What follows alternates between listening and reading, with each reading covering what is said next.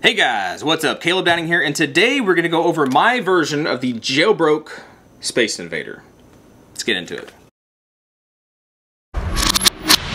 Alright, so our jailbroke series. I really have really enjoyed this series. I hope you guys have too. Um, I think it's super fun. And for, for the jailbroke thing, what, what we're talking about, if you're new to this and you haven't really been following along, um, is we take a, a, a, a, firearm that we really like. It's usually cost prohibitive. We did the Sugar Weasel, and then we did the Sig Rattler, right? We take the idea of that and we make our own version, so our version at home, as it were.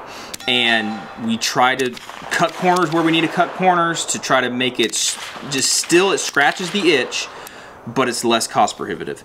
And this particular build, I think we, I think it came out the best. Number one, it came out the best. I think it functions and works the best. It's more fun. It's nine millimeters, so it's way cheaper to shoot than 300 blackout stuff that we built before.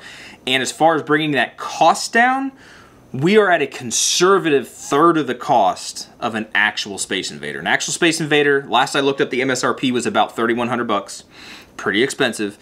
This guy, after piecing and parting everything together, minus the accessories, it's like 812 bucks. So like I said, a conservative third of the price of is that a third? That's almost a quarter, right? If my math is right, that's almost a quarter of the price of the actual Space Invader. So I think we really hit the nail on the head on this one. I think I did. For me personally, and when you build guns for yourself, you're building them for yourself, and who cares what other people think? So for me personally, I think we really did, really did well on this. All right, so let's jump into the pieces and parts of this. Uh, the core of this build is the receiver set, right? And it's not really a receiver set because they're not made by the same company. The upper receiver, that's an Aero Precision. They're pistol caliber carbine upper receiver. One thing we had to do with that is on the inside of these receivers, they have a little doohickey that works with, with uh, Glock magazines for that last round bolt hold open. Since we're not using Glock magazines and it wouldn't work with Colt stick mags, we took that little piece out. So that's the only real modification we had to do with that one. Um, we took that guy out so it didn't you know, jam up the gun or anything. The lower receiver, this is a Spikes Tactical ST9 lower receiver, and again, it uses those Colt stick mags, which gives that gives that look. And one big reason I went with this versus some of the other uh, magazines, or not magazines, the other lower receivers out there is because it has this cutout. It's, this is specifically made for Colt stick mags. This is not like a forged upper or forged lower that somebody got and then just milled out, you know, the internals to fit the Colt stick mags and you still have that extra material out here on the front. This is specifically made for Colt stick mags, which again, it, for aesthetics and looking like what it needs to look like, I think it did the best. Um, and for price wise, it's really good price. Um, I think that piece we did get at AIM Surplus, really, really good price.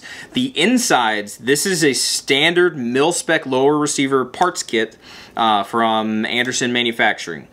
I really like those lower parts kits. I've bought several of them on pretty much most of my 9mm PCCs. I use them not just for the for the mil spec pins and springs and detents because in my opinion if it's mil spec and they work they work I really don't care who makes them as long as they work but the trigger and specifically the hammer are slightly different uh, the hammer specifically, it doesn't have that big spur that comes out the back. And for 9 millimeters, 9 millimeter direct blowbacks, for me, I generally, if I if I have a standard hammer, I get trigger slap, right? Because those bolts, especially when you go to suppress these things, those bolts travel a lot faster and when it travels faster rearward, it really slams and hits that hammer. That hammer comes down a little excessive in speed and hits the trigger and pops the trigger forward and slaps your finger and is very uncomfortable, very annoying and it can kind of ruin your shooting day. Just it's just it's just like having a mosquito bite on your finger. It just drives you stinking nuts, right? But these hammers and the trigger, but specifically the hammers that come in these Anderson kits, they're spurless. So there is no spur on the back. It makes it it basically eliminates that trigger slap. So I really really like that. The bolt, since we're talking about bolts as well, and the internals, the bolt, I can't remember exactly which brand and model this is. It's the cheapest one that I could find, and he runs. He works, and he does exactly what he needs to do. Nothing special about it. No tuning, no craziness, and there's no mil-spec 9mm bolts, uh, but the cheapest run-of-the-mill bolt that I could find. The charging handle, this is a Breek Arms Warhammer charging handle. Uh, we got this guy, I believe we got it from AIM Surplus. Uh, for what they are, they are priced extremely competitive uh, for being an ambi charging handle that has gas busting capabilities. I like it. Um, I've worked with them before, so maybe I'm biased, but I have bought my own charging handles. They've given me some because I've worked with them, uh, but I've bought my own, so I put my money where my mouth is on that one, and they work. We talked about, I think before, I've shot this video like five times, so maybe I've said it before, maybe I haven't, but this Q Shorty stock, we got this used off of the AR15.com Equipment ex Exchange, one of the best places, in my opinion, to get used pieces and parts. Uh, the people on there are vetted, right? So you can rate them. If somebody scams somebody, then that scammer is going to get flagged and nobody's going to buy from them. So they're going to do it once, but then they're going to get flagged. Unless you're an idiot and you don't look up their ratings, they're going to just not be able to make money on there because they got flagged and nobody's going to buy from them. The guy that had this before me, one reason I got it at a significant savings is he had it extended like this and he went to mortar his firearm to go clear a malfunction and what you're supposed to do is collapse the stock, even not just on these systems, but on regular AR-15s. You need to collapse the stock because you can break stuff. And he kind of did. He didn't really break it, but he bent the, the pad on the back. He bent it in a little bit. It bent. And so all I did was stick it in a vise and bent it back out and it works perfectly fine. So I don't know why he didn't do that, but he didn't want to take the time to do that, so he bought a new stock, and I benefited because I got this at an extreme discount, so I'm very happy with that. Um, the internals of the buffer assembly, it has the buffer, or the spring that comes with this, uh, but the buffer, that is an AR-10 buffer. It's an extra heavy buffer, and if you get an AR-10, this is not standard across the board, but it works generally most of the time for 9 millimeters. If you need an extra heavy buffer for your blowback nines, you can, I've had good luck with it, get some um, AR-10 carbine buffers, right? They're heavy and they're not expensive and they work, right? So I've had good luck with that, so that's what's in here, and it it's smooth. Get the mag out of there. It's smooth. This guy is not super, uh, not barky, but kicky, right? He doesn't kick a whole lot um, is it's pretty dang smooth, especially for a direct blowback 9mm PCC. The barrel, again, that's a uh, Bear Creek Arsenal, I believe is what it was. Just as cheap of a 9mm barrel because I'm not shooting matches with this, even though it would be a good gun for that, I think. Um, and I'm not trying to shoot bullseyes. This is just a fun gun.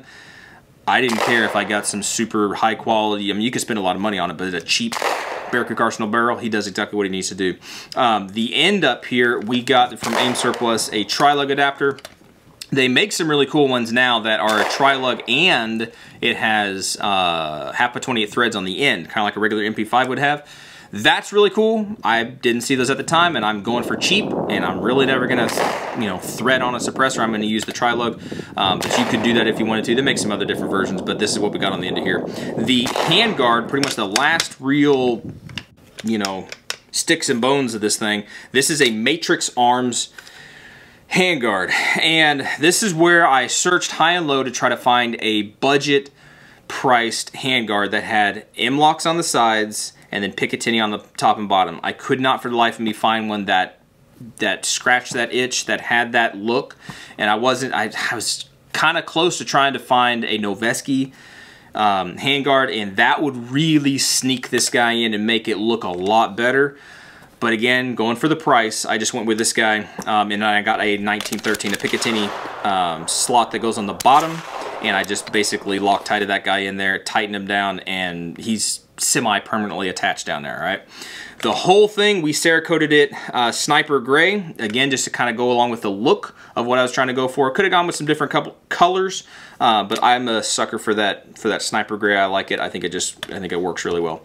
Um, other than that, that that that's the gun itself. That's the gun itself. Those are the major pieces and parts. To finish everything else out, we did get a, I've had this Holosun for a while. This is a Holosun 403B, not this solar version. I kind of like the non-solar versions. I understand why people have them. I have some of them. I, I like them. Um, but the non-solar version, just they seem less finicky. Sometimes those solar versions, they try to pick up on stuff, uh, you know, the, the light, and it just, it just, it dims and stuff when it's not supposed to. I know you can turn that feature off but sometimes for whatever reason the feature just pops back on on some of those and so you'll go to pick up the gun and you're like I don't have a dot oh wait I do but it's super small and tiny whereas these guys are pretty dummy proof in my opinion in my experience and it's just easier to work with them This riser is not an actual Unity riser. Those are relatively expensive, and again, trying to go budget. This is an Airsoft knockoff version, so sorry guys, but I bought the knockoff version. It's like 30 bucks or something like that. And the quality is not there. Quality is definitely not there. This has a front sight post that is missing because it worked itself out and it fell out. That's not a good thing. Um, but it's supposed to have um, a, a rear and a front sight. If everything works right, you have a backup you know, iron sight system built into this, but obviously it's not working. And this is not a defensive firearm or whatever. This is a fun gun, so I really don't care. But I really do like these higher skyscrape style um, risers because for me personally, I've really come to just appreciate not having to bend my neck down. If you're wearing other stuff, not so much tactical cool guy gear, but big fluffy coats when you're out shooting. It's nice to not have to try to scrunch everything down and get your head down in here to look through those lower mounts. Those higher mounts really work very well for that. Um, again, going budget, I didn't want to spend a bunch of money, and I already had it, so I used the uh, Streamlight this is the rail mount one, I believe it is, uh, the smaller-ish version, and he works. He works well for him. He's worked over the years just perfectly fine. Not the brightest light, uh, but for my needs and my purposes, he works perfectly fine. A BCM grip, since this is an SBR, I could have gone with a you know 90 degree grip. I really don't care. I like the slight angle to it. It fits my hands perfectly fine. It works really well. Um, and then I run a bunch of different suppressors. If you if you're around here on the channel, you know we run suppressors. We do a bunch of stuff like that. We test stuff. I've used this as a test bed a lot of times on suppressors, specifically 9 millimeter stuff. Um, and I really like it. I really I really like this as a test bed for that because he cycles well. He's not excessively gassy, um, but he will show if a can has a lot more back pressure because, you know, everything's sealed up pretty well.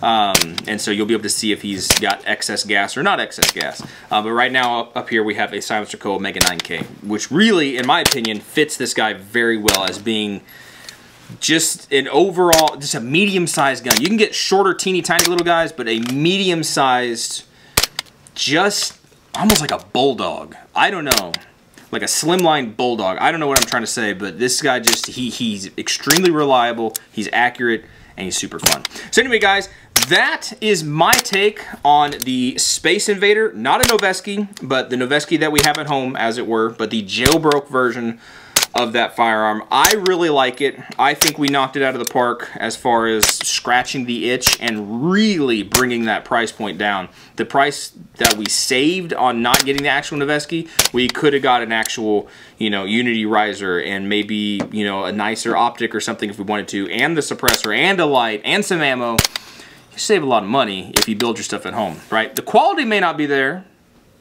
but for me, half the fun is building it and putting together, working through the problems of tuning it, and then, you know, then you got something that works.